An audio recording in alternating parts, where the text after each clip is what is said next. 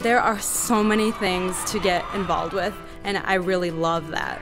I think that any student who comes here, the opportunities are there. You just have to step into it. I am currently involved in You Beautiful Black Woman and Alpha Kappa Psi Co-ed Business Fraternity. I'm involved with uh, GVSU Beekeepers.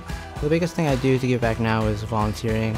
I am part of Laker Familia. It's a club that helps Latino students.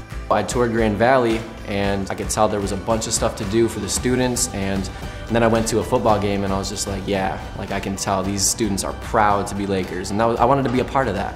This university offers so many opportunities and resources that the more you take advantage of those, the more you're going to build that community. Just get as involved as you can and you will find that community that you are looking for.